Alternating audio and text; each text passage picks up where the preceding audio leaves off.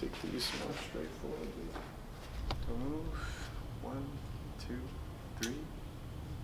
Hi, I'm Alfred Roosevelt Dudley III. I'm a fourth year in the School of Art. What um, drew you to experiment with medium format photography?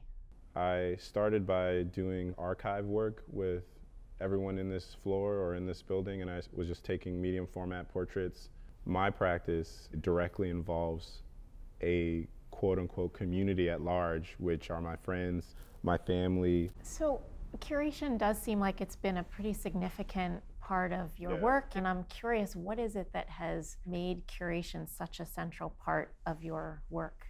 The number one thing I noticed for myself and a lot of the people who looked like me was that there hasn't been or was not a space for our work to be made present in conversation with each other. I found it really, really important to make sure that there was some sort of designated space or exhibition that could exist for that because there just hasn't been a space. Why, you know? why do you think that is? I mean, you, you've created something extraordinary, and it was in response to a problem that you identified.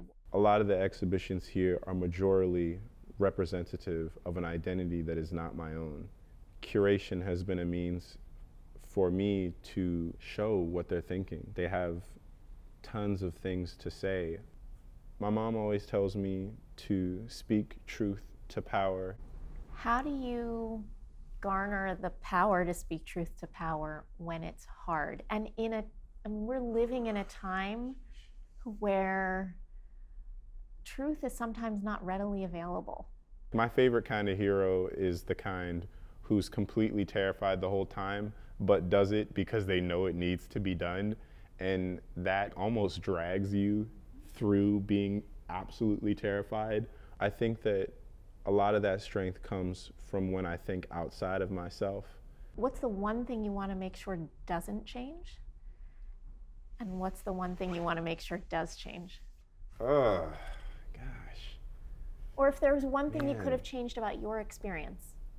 I'm going to add to your question what would I have done if I was speaking to my younger self? I would have been like, yo, man, you're not alone.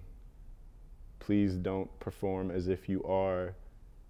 Remember who your people are, and you're going to learn from that. Beautiful. Yeah. It's beautiful.